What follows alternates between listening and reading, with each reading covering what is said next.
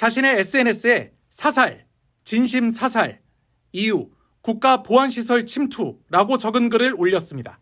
이날 대진년 회원 20여 명이 이른바 김건희 특검법 수용을 촉구하며 대통령실 진입을 시도하다 경찰에 체포된 사건과 관련해 대학생들을 비판하며 사살이라는 표현을 쓴 겁니다.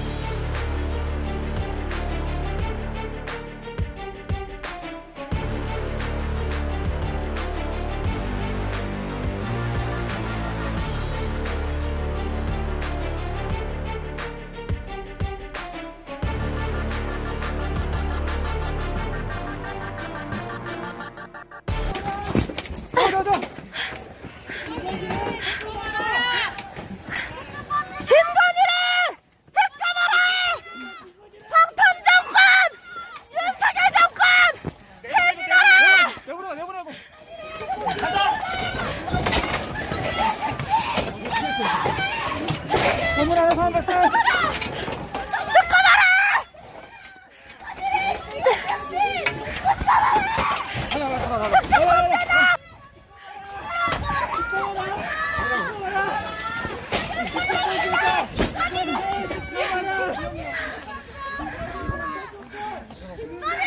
방탄 정권! 위험합니다. 위험합니다. 잠시만요. 잠시만요. 위험합니다. 위험합니다. 잠시만요.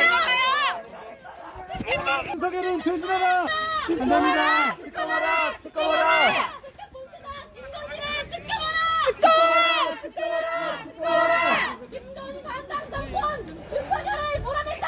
몰아내자! 몰아내자! 몰아내자! 김건희 방탄 정권! 보세요 뭐 하시는 거예요 하지 마세요 뭐해자 정권! 윤석열을! 퇴진하라 퇴진하라 퇴진하라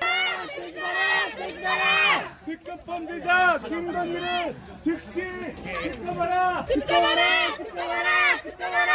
주가 조작 허위 경력 사기꾼 김건희를 당장 특검하라 특검하라 특검하라! 특검하라!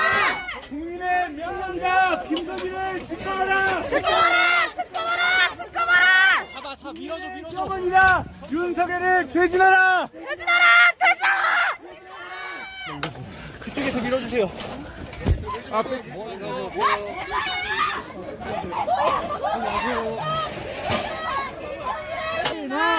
윤석열은 퇴진하라! 윤석열은!